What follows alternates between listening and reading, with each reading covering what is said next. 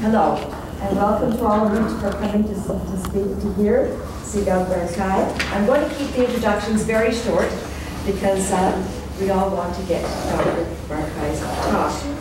Um, Dr. Barkai here is here as a postdoctoral fellow at the Azrieli Institute um, of Israeli Studies here at Concordia University. But she has um, many roles in one. She is um, a curator and researcher of contemporary Israeli art. Since 2011, she has been the chief supervisor of art education in the Israel Ministry of Education uh, from 2013 to 17 onwards. She was chair of the Visual Literacy Arts Education Graduate Program and the Curatorial Studies Program at the Faculty of Arts at Kibbutzim College Tel Aviv, Israel. I should just mention that as chief supervisor of education, she invented a completely new, intensive, extensive art education program for elementary and high school students throughout Israel, which is really envious. We're really envious because it's so innovative and we should have it here as well. And she also invented the new curatorial studies program at Kibbutzim College.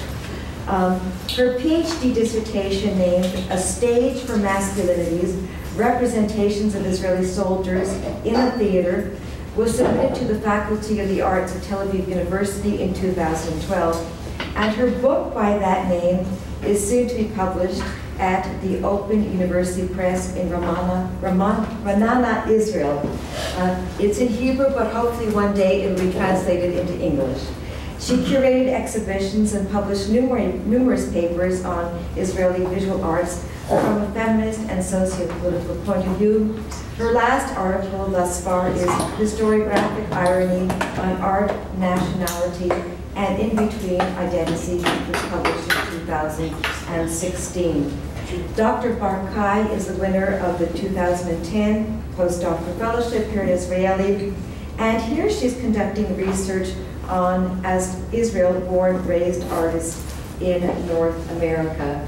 I know that uh, this will be a phenomenal talk. Uh, I had the pleasure of hearing Dr. Barkai uh, both last year at the International Conference on the census that took place here at Concordia and also at Banff at HUAC where she talked about um, the concept of intimacy in the works of a contemporary Israeli artist. So welcome. I should just mention that um, questions should all be at the end, and, and I will be orchestrating the, the question session. Thank you. Thank you all for coming. I'm really excited to be here. I wanted to thank the ladies for this tremendous opportunity to be here in Concordia and also the, the department, the art department here in the EB building who are hosting us today. So let's just dive in. Um, in recent decades, an expressive and innovative art form has evolved in the field of experimental video and film in Israel. Female artists such as Nira Pereg, Maya Zack, and Yael Bartana are working in elaborate digital media which enables them to to political, cultural, and uh, personal issues. They use diverse technique, techniques and modes of expression, expressions such as sophisticatedly edited documentary video, reflective, melancholic, and ironic mockumentary films, or grandiose and macabre cinematic fantasies. They re revisit and sometimes remake the stories of the Bible, or the myth associated with the Holy Temple, or the heavy shadow of the Holocaust hovering over Israeli existence on a daily basis. So we're going to get to know three of, three of those feminine, uh, female artists. The first one is uh, Maya Zack.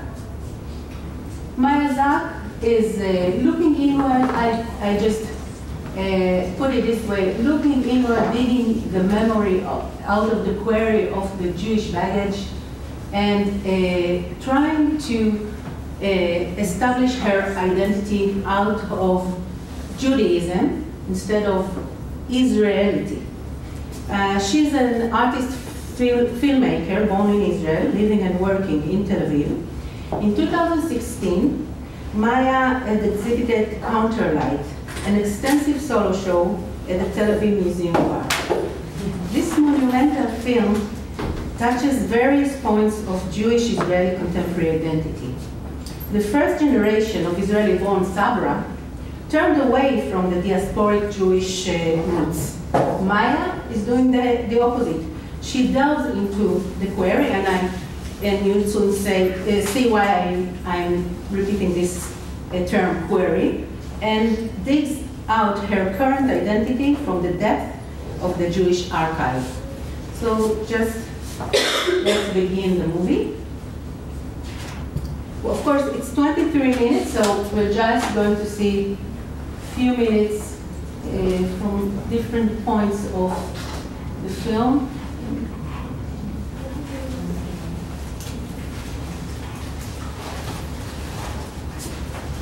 Okay? Press that? Yeah, you just press that. And full screen?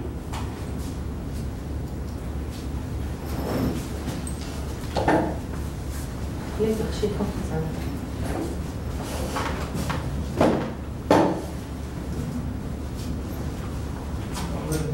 No, we'll go to the Interesting.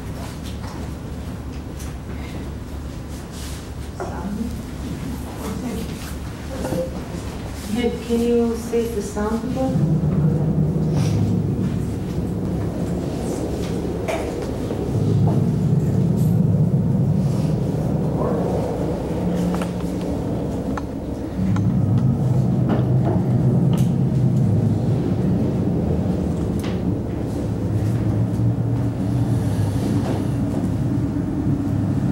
This is kind of epilogue to the film. This is the artist, this is Maya Zack. And she's standing in a very known place, a deserted quarry, on the Green Line. It's called the, the Road of Quarries. So this is not part of the, of the film itself, but it is wrapping up its ideas.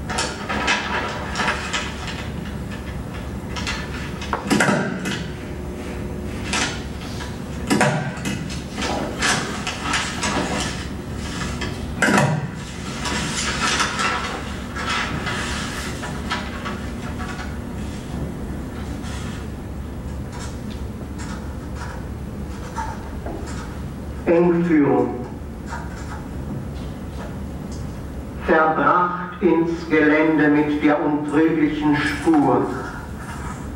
Gras auseinandergeschrieben, die Steine weiß mit den Schatten der Halme. Lies nicht mehr, schau. Schau nicht mehr, geh.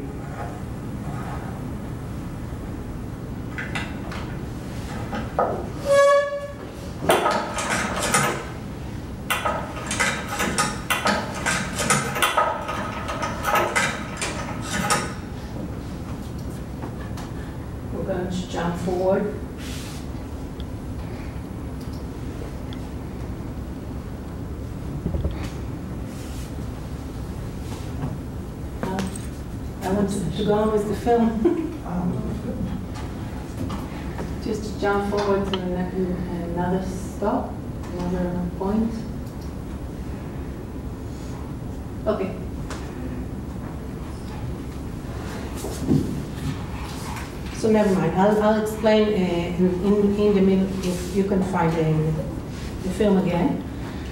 Um, the Zack exhibitions, exhibition, a surreal, mental, and somewhat physical journey into the past memories, into the past memories, mind, and soul of Paul Celan, a very important Jewish uh, poet that writes about his own uh, experience in the, in the Holocaust.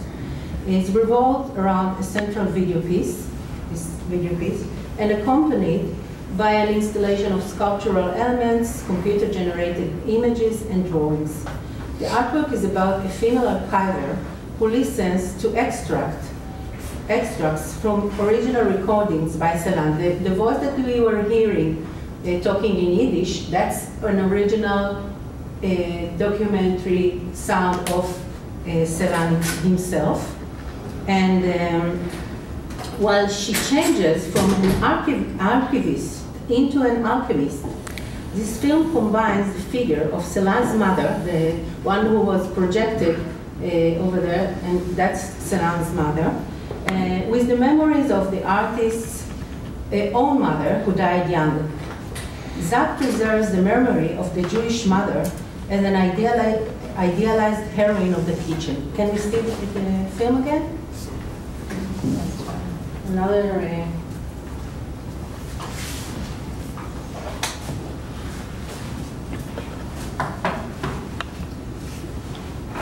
Okay, just uh, put it in the middle, in the 15 moment. Or the 8, the 8 moment, yeah. Let's see from there. Da nicht, nein, redeten von Wachten.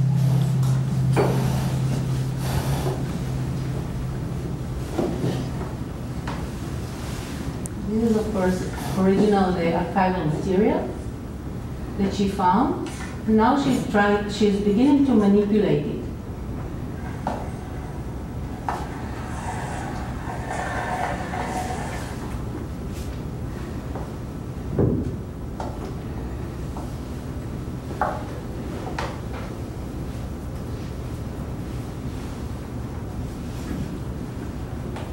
So back there is Ich bin's, ich.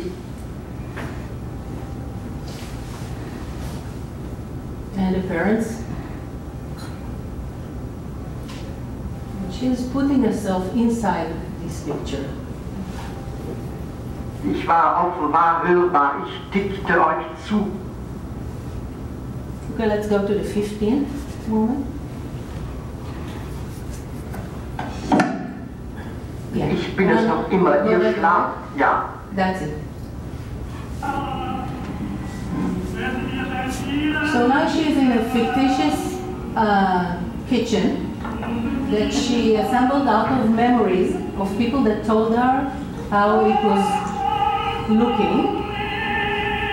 And uh, let's see what she's doing in the kitchen.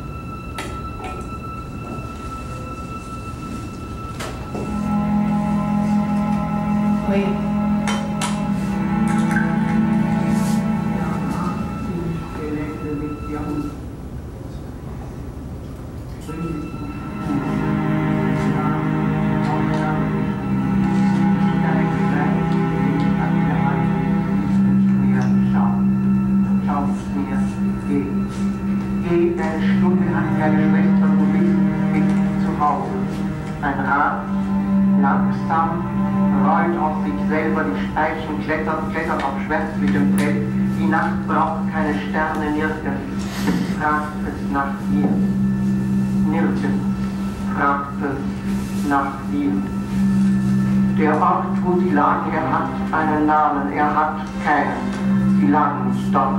Etwas lag zwischen ihnen, sie sahen nicht hindurch. Sahen nicht, nein, redeten von Worten. Keines erwachte, der Schlaf kam über sie. Kam, kam, nirgends. Fragt es. Ich bin, ich, ich lag zwischen euch euch zu, euer Atem gehorchte, ich bin es noch immer, ihr schlaft, ja, bin es noch immer, ja. Jahre, Jahre, ein Finger tastet hinab und hinan, tastet umher, dann schnell fühlbar, hier klappt es weit auseinander, hier ruft es wieder zusammen, wer deckte es zu, deckte es zu, wer kam, kam kam ein Wort, kam, kam durch die Nacht, wollte leuchten. And just go to the end.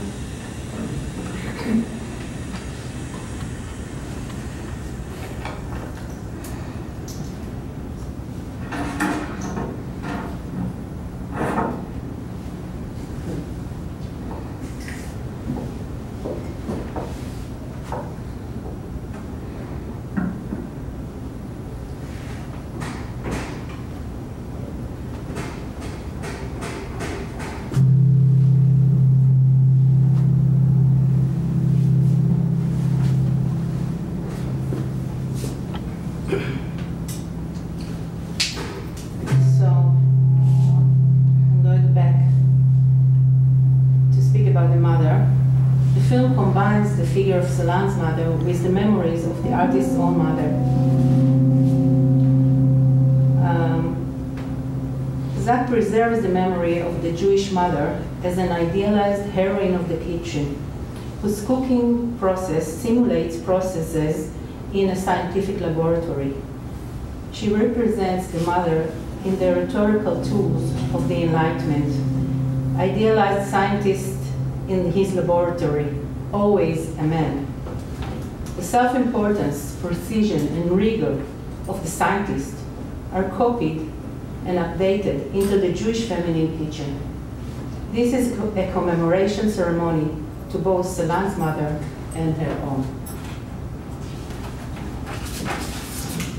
So we'll go back to the presentation now. Um, yeah. Yes. So this is Paul Celan, and this is his most famous work, No One's Rose. It's of course a, a, a book of poems or poetry. The poetry of Jewish poet, poet Paul Celan provides insights into the horrors he experienced in the Nazi con- concentration camps. The video's protagonist nurtures an obsess- obsession for Celan, his life, his works, his women, and his exiles. This is a private adventure into the mind and spirit of Celan, who lived between 1920 and 1970, who is considered as one of the major poets of the modern and postmodern era.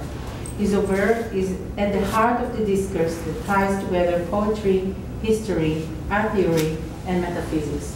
I would only note that the most famous discourse around Celan is that he was a Jewish uh, person who went through concentration camps, but yet his mother tongue was German. So he only could really express himself in German. So he wrote all this uh, very, uh, very deep, very sensitive, very uh, emotional poems or uh, about being a, a, a Jewish uh, person in the concentration camp, and he wrote it in the language of the enemy. This is something that uh, uh, uh, always surrounds uh, this uh, discourse about language and what it means. So this is the vision. I, I must say that Maya Zack, uh, first and foremost, she is a drawing artist. She works with her pencil. The pencil is the, is the most direct, most uh, uh, sensual way for her to, uh, to uh, vision her, her projects. And this is a drawing that she, that she did for the installation in Tel Aviv Museum. Of course, it's not really, this is not the real installation, but it gives us an idea of what she meant. Uh, on the left side, we have the archive, the woman uh, that is working on this table, this uh, big library, and, and, and another thing that is flowing into the space, which is completely imaginative.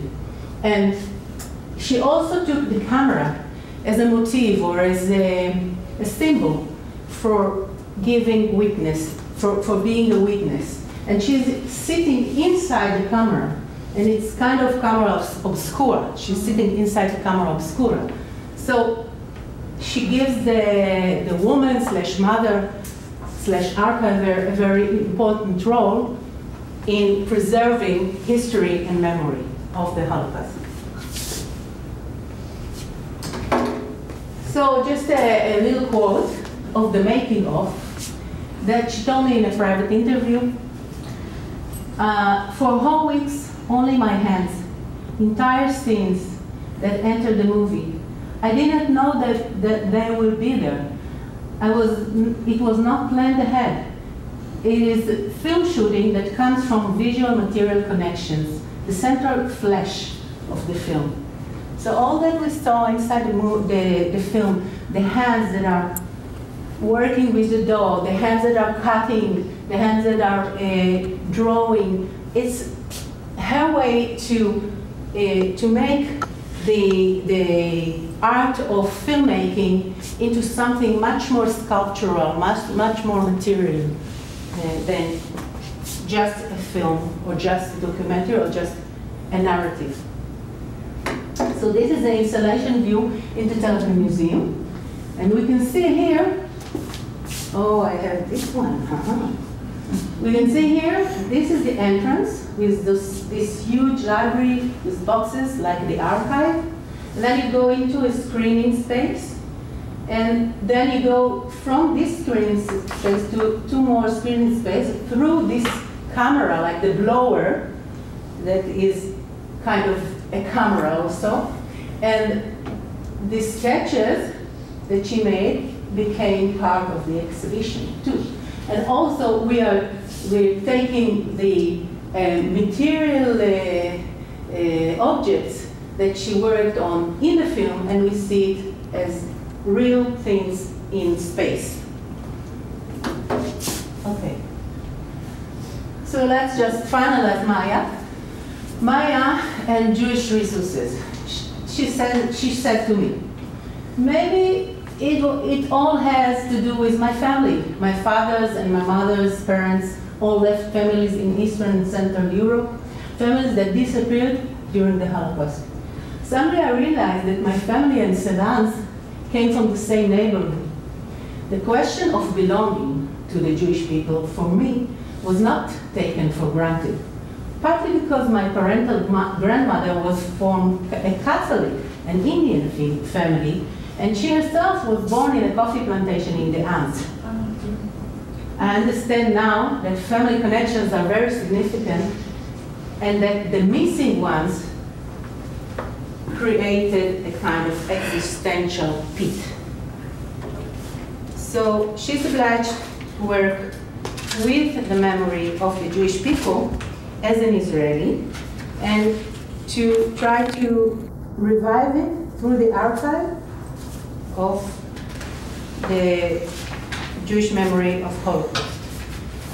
And I will finalize this uh, part by, by quoting another thing that she told me. I was always interested in Jewish history, the Jewish situation, Jewish faith. Through Paul Celan, I also came to know other sources in Jewish culture. I was exposed to Gershom Scholem, writing, and Kabbalah. It was surprising and exciting. Ideas I have found about language and space, a text that seems to be postmodern, is actually antique.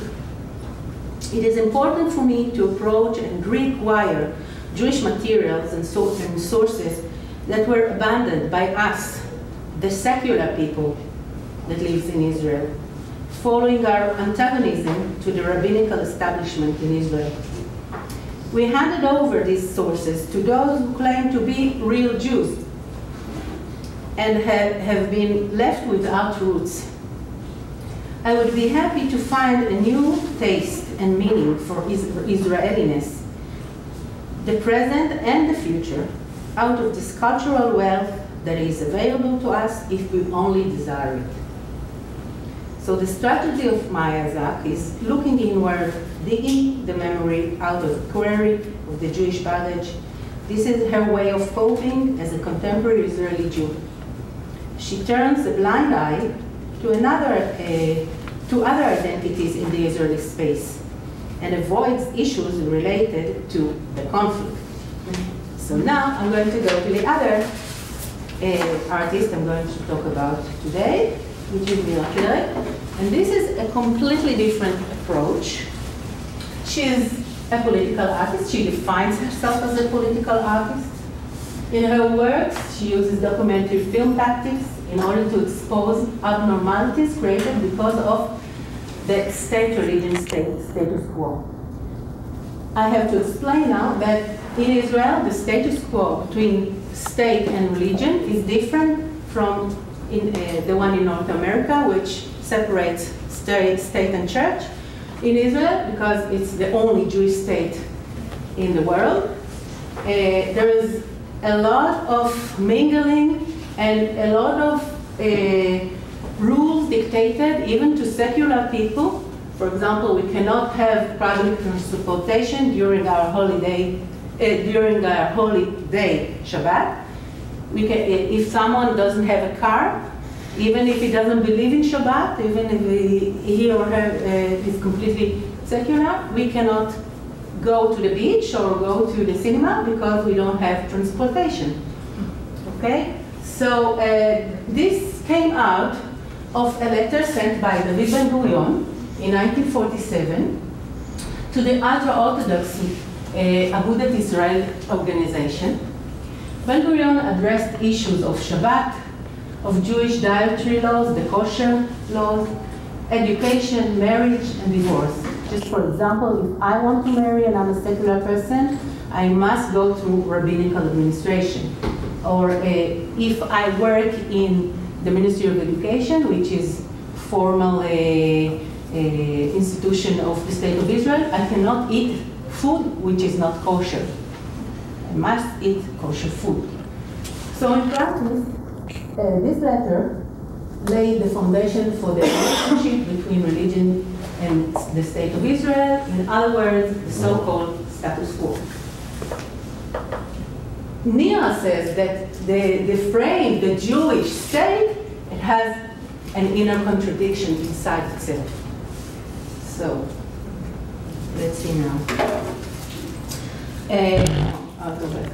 Uh, Nira believes in a state for all its citizens and does not identify with the Jewish state. This is a very radical and unpopular stance in the Israeli society. She's influenced by the scholarship of Yeshayahu Leibowitz, who believed that state and religion must be separated completely to avoid corrupting each other. She says, if the state is an instrument or an engine, then the status quo is the essence of this engine. This union between territory, religion, and domination is tragic in my eyes. It is in the essence of the Israeli pathology. Okay? She, she said it to me in a private interview. She chooses her, her uh, art practice as a, as a documentary filmmaker who is uh, not showing documentary films, but art that she manipulates or, uh, or edits, edits in a way that it, it expresses her uh, political view or agenda. so she's looking for these cracks in, the, in reality. Pereg is looking for human behavior pattern, patterns that are manifested in the architectural space in order to reveal hidden personal, political, and religious agendas. Public, public spaces of religious or political or military importance serves to show symptoms of the problematic everyday existence in the Israeli-Palestinian land. Those cracks in reality are exposed in esoteric events uh, which testify to a much greater social significance, such as the event depicted in the video before us. Before we see the video, I just want to say, this is the mosque on Temple Mount, and this is a, a reconstruction from scriptures, a model of the Jewish temple. We're going to speak about it later, so I don't want to expand right, right now, but just look at this. Um, when, she's, when I'm saying that she's looking for cracks in reality, some people think that this is really existent. This really exists, but this is only fantasy. This is what, what really exists in real life in Israel. Okay? So, in her quest for cracks in reality, she comes to uh, the, um, the cave of the patriarch, Me'arat HaMachpelah, in Hebron, the, double tomb uh, of Abraham and Sarah, the uh, mother, the mothers and fathers, the matriarchs and patriarchs of the Jewish uh, nation. And she is shooting this film over there. Let's see.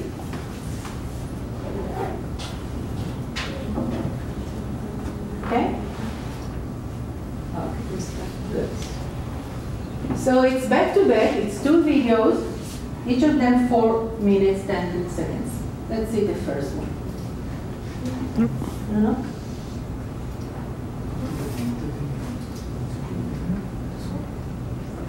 Just, what is it? Just push. Yeah, and here.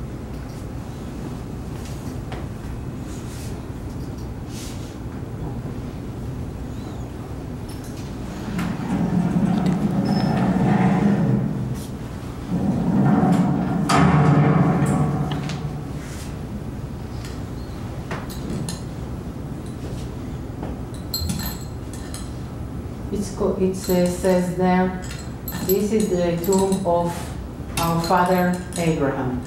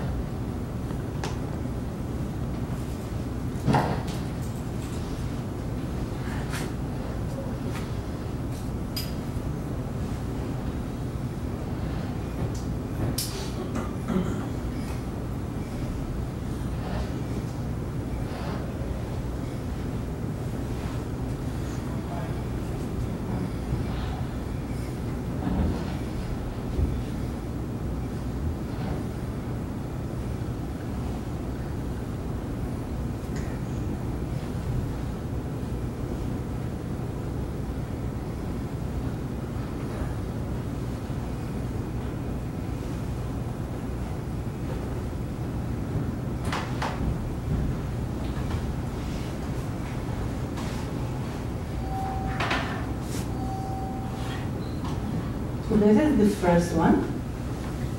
And we're going to see the other one, Sarah. This is Abraham Abraham, and we're going to see Sarah Sarah.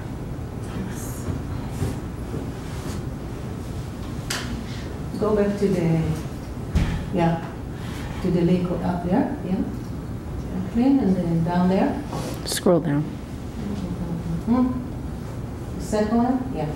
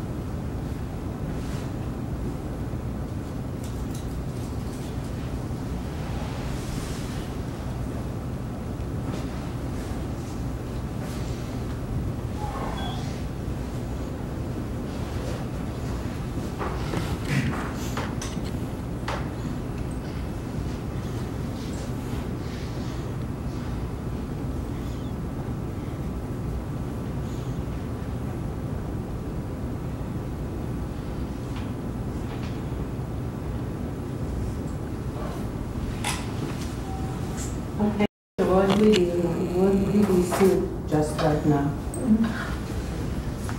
This is, this work is a double projection video installation, four uh, minutes, 10, 10 seconds each. It was shot at the Cave of the Patriarchs in Hebron in the West Bank. The work documents an odd ceremony in which the holy site exchanges hands uh, back and forth between Arabs and Jews during the exception procedure. In work, this ritual re reveals the way political sovereignty and religious rights create an anomalous reality.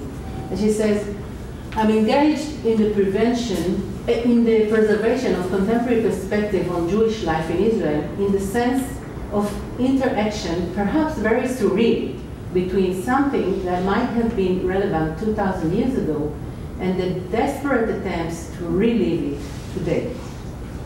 So just a small explanation about what we just saw. The cave of the patriarchs, Haram el-Ibrahimi, is located in the heart of the old city Hebron, Al-Khalil.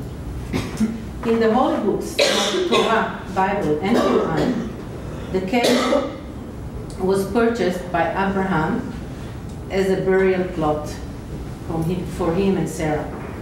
The cave is located beneath a Saladin-era mosque, which had been converted from a large rectangular Herodian uh, Judean structure. Dating back over 2,000 years ago, the monumental Herodian compound is believed to be the oldest in, intact prayer structure in the world that still fulfills its original function. The Hebrew name of the complex reflects the tradition of the double tombs of Abraham and Sarah, Isaac and Rebekah, Jacob and Leah, considered the patriarchs and matriarchs of the Jewish people who are buried there. Ibrahim, Abraham, is considered the father of both Jews and Muslims, father of Isaac and Ishmael. So these are pictures that I took from sites from two different sides. As you see, it is the same hole with this green walls. This is a Muslim side, and this is a Jewish side. And each of them is showing only Muslims here and only Jews here. So the uh, exception procedure, or charig as we call it in Hebrew, is a, is a procedure that enables uh, the Jews to get in to the big hall uh, and pray in, in, uh, in their separate days and vice versa. Pereg chose this uh, space because, in her words, it is, it is a spatial architectural manifestation of the state religion status quo. In the past, the cave was open to all believers of all faiths all year long.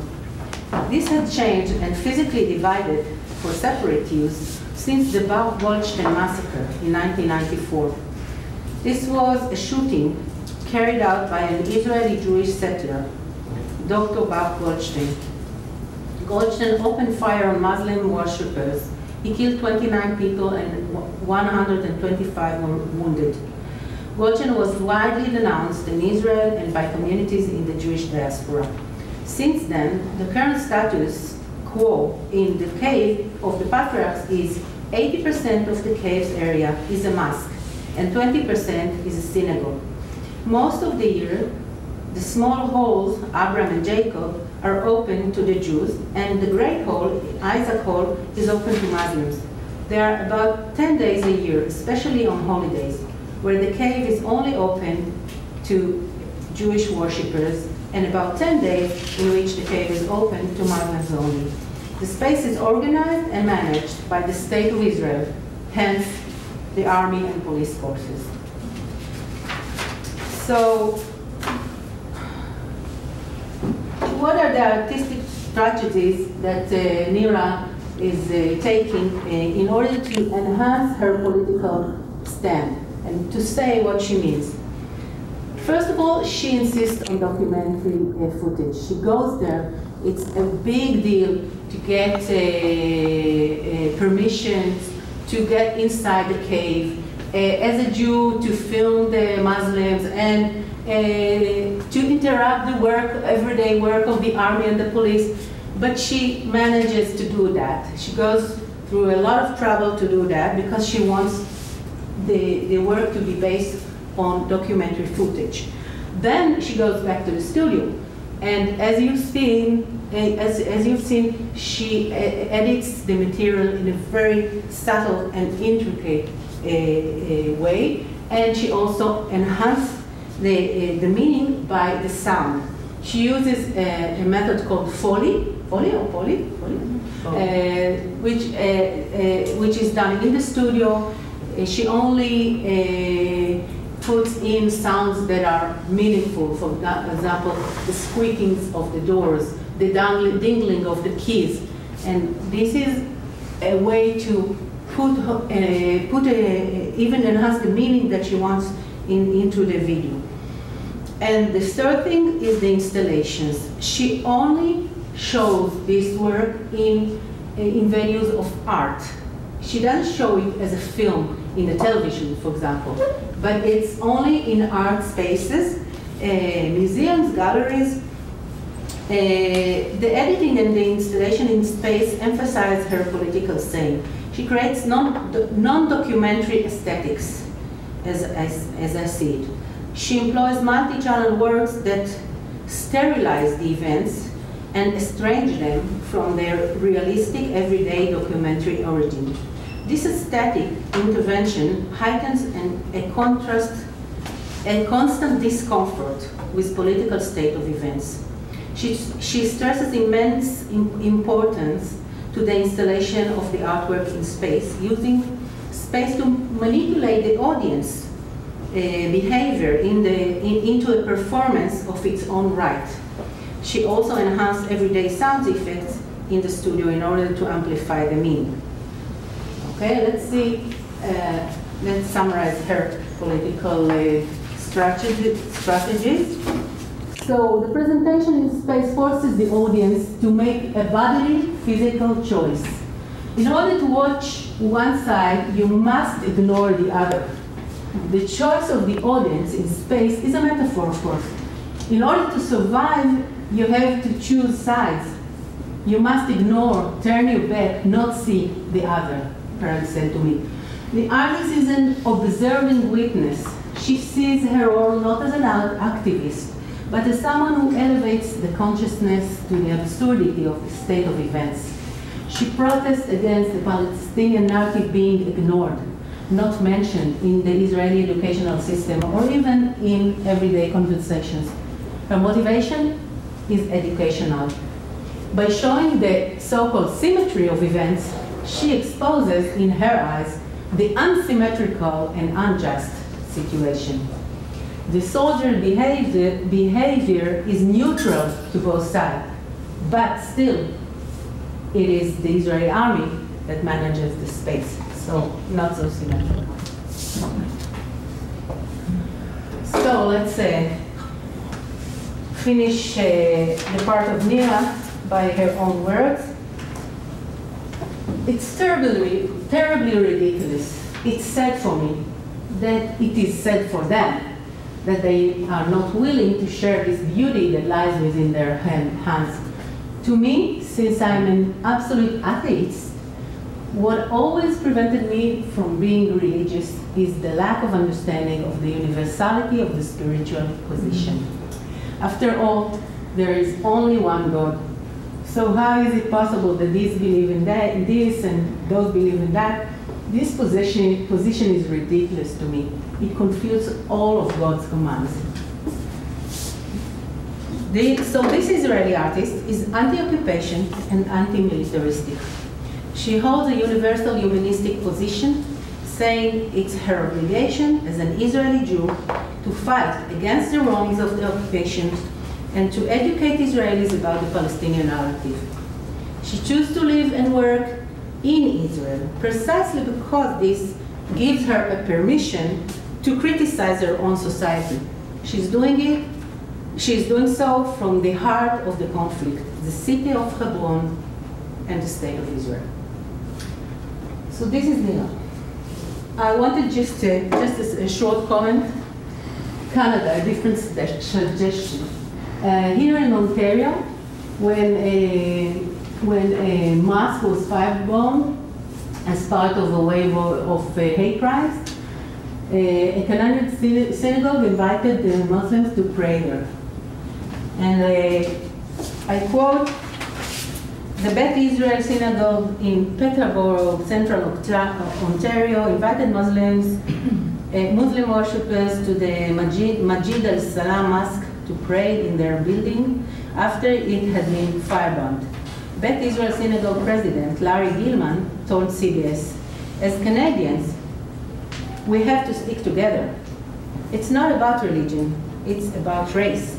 Canadians do that. so Kenzu Abdella, the president of Kawartha Muslim Religion Association, told CBC, they walked to the mosque and told us that whatever we need, they will support us. Even though it came out of a tragedy, we are working together. So this is a completely different suggestion from Hebron. In Hebron, they want to stand on the head of one another, and also in the uh, Temple Mount, they want to stand on the head of one another, not together. And this is uh, the words of the uh, Muslim uh, uh, Kenzu Abdella, and he says, we have more similarities than differences. We have so much in common. The details of worship and the ceremonies. Even the stories we hear are similar.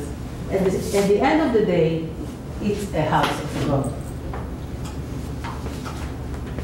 Okay, just a minute. Yeah. Okay, so that summarizes this part. And we're going to the last artist that we are going to see today. This is Yael Bartana. And I'm going to jump, jump right into the film and then we'll talk about it. Her name? Yeah, see it down there.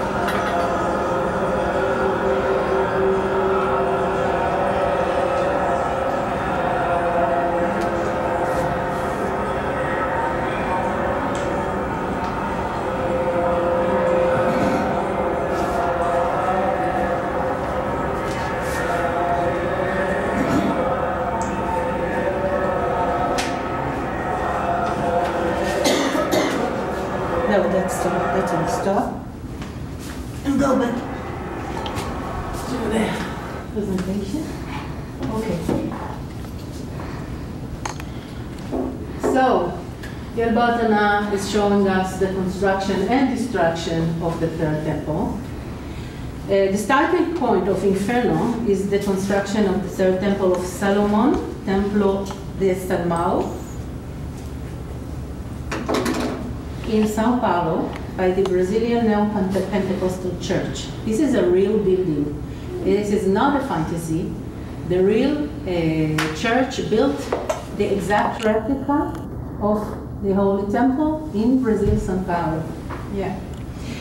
Built to biblical specifications, this new temple is a replica of the first temple in Jerusalem, which the, the violent destruction of, uh, uh, of the, this temple signaled the diaspora of the Jewish people in the 6th century BC. Bartana's film employs a methodo- methodology that commingles fact and fiction, prophecy, prophecy and history. Her work addresses the grandiose temple project while deliberately blurring the boundaries between the histories of antiquity in the Middle East with a surreal Christian ritual unfolding halfway around the world in Sao Paulo, Brazil, today.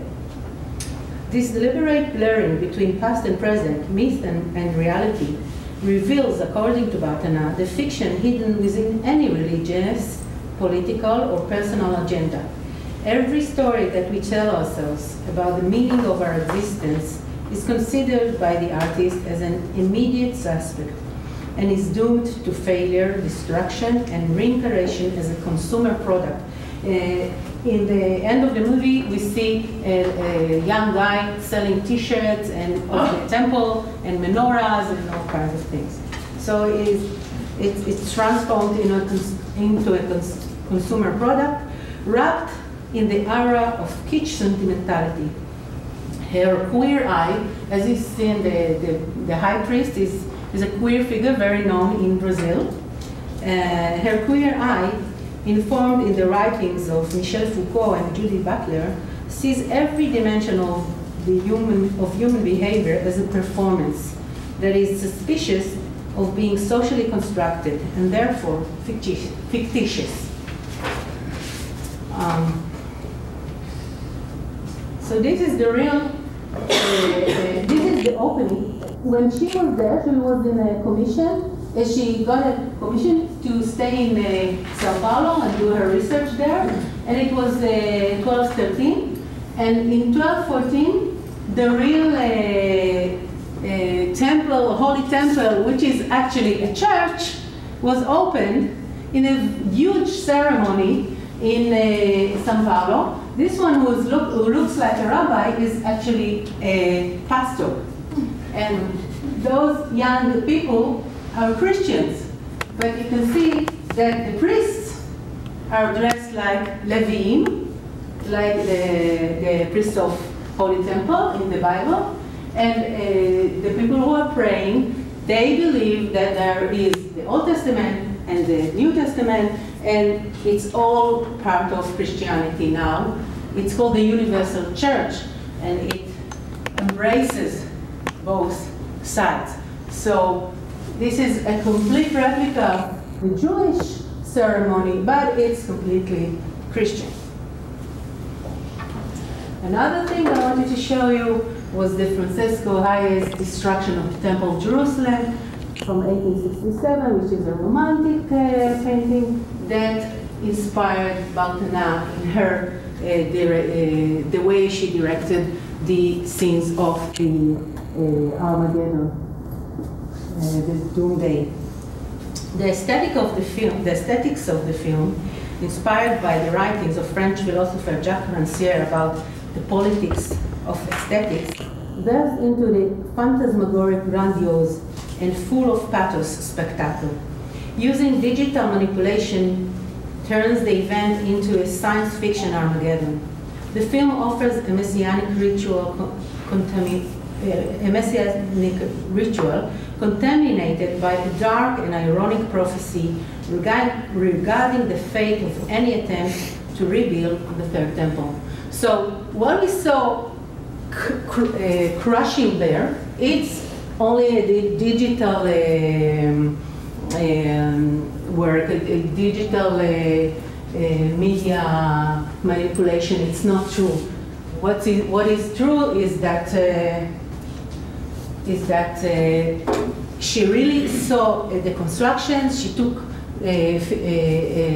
pictures of the site, and then she put the, uh, the uh, holy temple there before even it was finished, and then she destructed it.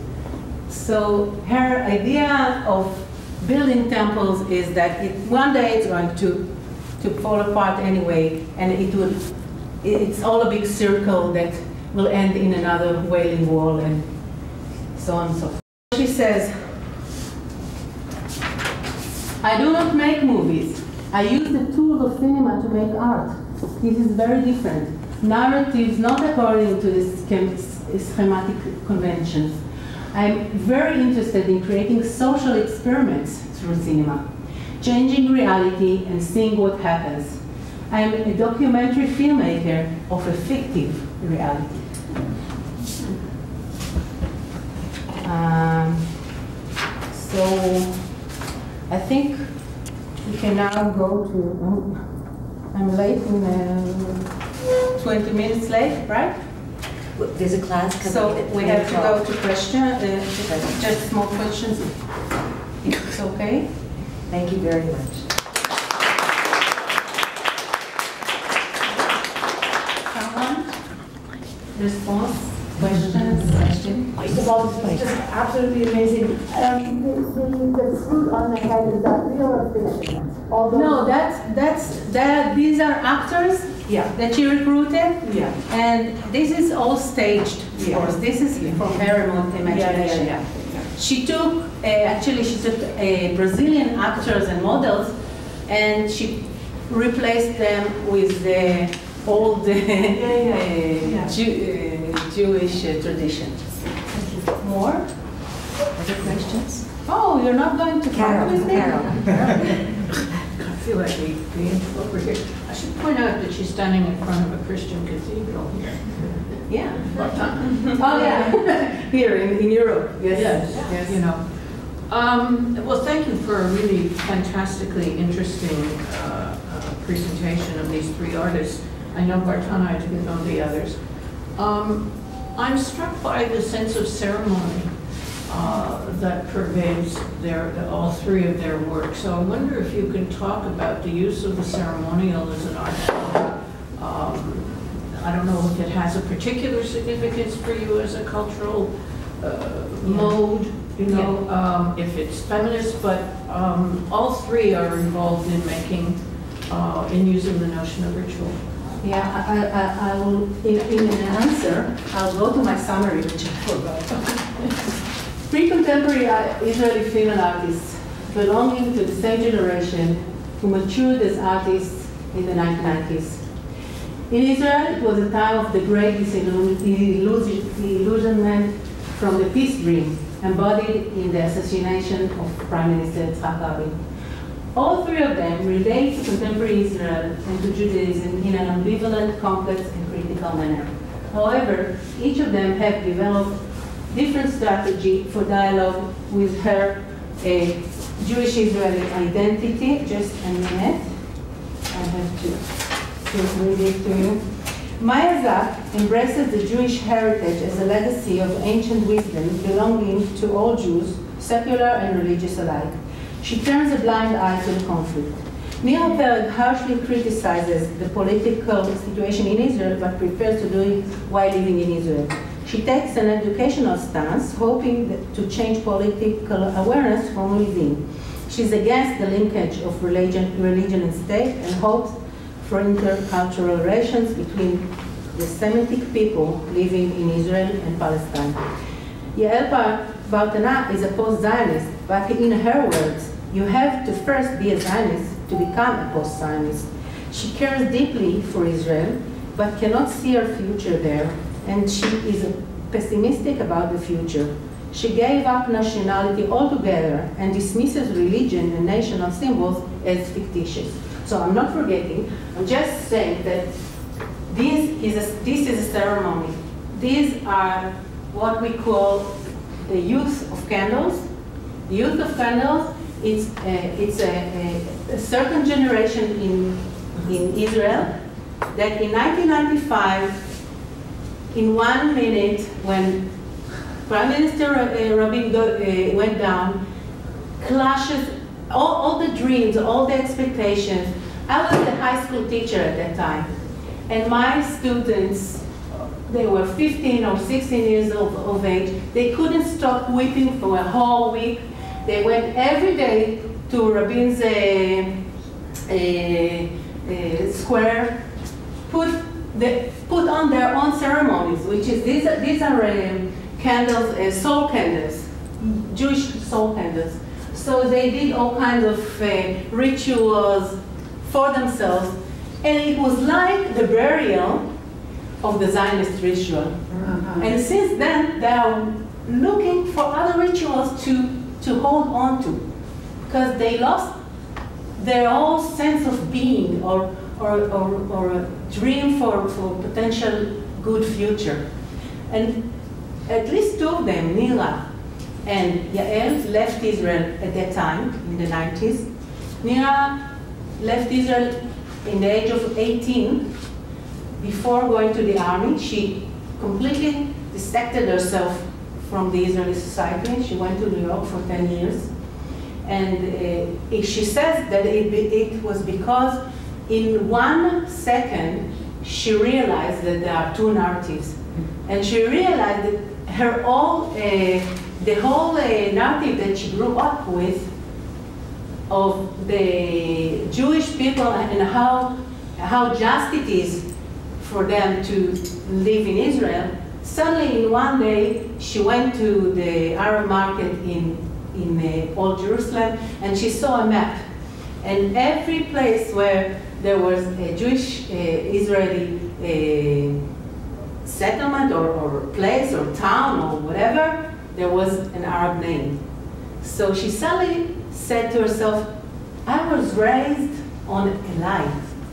And she couldn't stand it anymore, so she went for 10 years to New York. But then she came back because she wanted to educate Israeli Zionist Jewish minds to think, at least to acknowledge that there is another narrative. Yael Bartana also said to me that she she felt after the murder of Rabin that she has got to go out of Israel and all, all her uh, criticism uh, about the society, uh, she began it when she was in, in New York, when she saw it from uh, far away. Because she was growing in a moshav, in Emek Israel, in a very, very hegemonic and very established place, and she was educated that we are right, we are always right, and suddenly, after Rabin, she saw that something went wrong there. So the, all three of them, uh, they are in their 40s now, and they belong to a certain uh, generation that ask questions about uh, about Jewish uh, state, about the, the way we establish this dynastic administration in, in Israel and so on and so forth. Yeah. Well, I just thought I have a very interesting work. I thought for sure that the uh, first is Maya Zack, because she has the same first name as thought like I'm seeing like a, a remake of Maya Deren's Meshes of the Afternoon. I mean, I thought that the other film inhabits this first film that you have. And uh, in a way, in a certain way. Yeah. And I think she's definitely inspired by it. I mean, I think if you ask her, she'll talk about it. And uh, the second, that would all three artists, uh, do you say, would all three artists agree with the idea that the fragmentation of identity is also the construction of identity? Uh, yeah, I think I think Yeah, they, so- they are all very critical. They are all very uh, uh, thoughtful. They are looking at, uh, on the society with um, sober gaze. They're not trying to The idealize specific notion of fragmentation, do you see the notion of fragmentation? Yeah, that is the crash. That is the the, the fragmentation. They were crushed from within. They, they, their whole world were uh, going apart. So the fragmentation came into their over if they wanted it or not. Dana, you have a question? No, I don't. You don't? Another question here? Martha? I have- Uh, Sorry. Um, I was also struck by the, I mean, it goes along with the ceremonial aspect, I was really struck by the um, uh, controlled aspect of all of these works. They're very, they're very deliberate in the first instance, and, um, and I don't know, I could use it, I could use a synonym all the way through, but um, the place where I found it puzzling as a strategy was, was in the work um, of uh, Pereg. I thought the Foley, which hit me immediately, was um, so hyper-controlled and so exclusive uh, within a documentary vein of the actual sound of the bodies that she could have exploited um, within those works, where you'd actually have some more phys- physicality of the of the figures and their movements and so forth. I mean, the little guys who are moving things are clearly laughing at one point, and they feel very awkward and strange in front of the camera. And I just wondered why she controlled it so severely. What your I think- feeling is I about think that? I- I'll only give you, can give you my answer. I think that when you have a very political agenda as an artist, you have to cut in the sides. You have to go directly and you have to control every aspect because you have a clear message mm. to, to, to give and, and I think she's, in- she's a bit, I don't know, she's a bit forceful in her way to to to to bring the message on. She she doesn't want anything to to disturb it. It's, that's, I That's didn't, what's the- worrying the- me. I didn't hear the first term that you used that brought this issue up. Can you repeat it? I didn't hear. Foley. She's using Foley, which means, Foley, which means that she's, um, if, if there's a sound that she wants to bring out, it's, it's fictionalized in studio from. Is that a filming term? Yeah. Yes, Okay. It's yes. either sync sound, well, let me say either or. The Yeah. sync sound is what you would expect from the movement of bodies in space and so Right. forth, so and that's She what we think of as a naturalized cinematic experience. She cleans other noise and she only uh, concentrates on the noise that she wants to, Right. to put in. So a window would open, you hear the sash. Okay. that Rebecca? I, my interpretation of that was a necessary sterility. She's abstracting the human aspect of this transaction, and I think to do that, you cannot have that sound because that's human, and that evokes feeling. And she's trying to show something, I think, that was separate from that, and so I saw that as kind of an important aspect of what she's representing. I, I agree, and I think, I think more of that. She wanted, when I talked to her, she said what she wanted really to show there was the action of the soldiers, where almost, they were almost hidden, but they orchestrated the whole ceremony. And she wanted uh, the audience to see how it's the same and not the same at the same time. So she didn't uh, concentrate on the human aspect of this ceremony, but yet I, I- okay, well, we have to go. Uh, but I think that the, the most moving part of this uh, film is the faces of the Muslims and the faces of the Jews when, in the minute they came, they came into the space. Okay, it's the Me'arat HaMachpelah, it's the uh, it's the most sacred place. So, Yeah. and they're coming in Yom Kippur or Ramadan, they're coming in and they're shining. So even though she didn't want to speak about it, she kind of did um, expose the real feeling uh, of the of the worshippers, both the Muslims and the Jews. We have time for one more question. Okay. No question. It's not a question, just a comment. To me, it was an amazing, amazing presentation. Still, there's no solution. Going to America, you're just putting the blinds on the indigenous people and who the country belongs to and so on. So it's a question of what you see and there's no, no way out. Yeah, the- one of the things that, that uh, uh, made me much smarter by coming here to Canada is to realize that there is no neutral space and in every country there are problems, indigenous or others, and ev- every place has its own political uh, um, controversies and But the very young people who are born in this new place, then they don't know anything else. They don't have another past. So, so this is the real. uh, the- Yeah, Anne told me something. She told me that people are always angry with her because she doesn't give any answers. But there are no answers. Thank you very much. Thank you very much.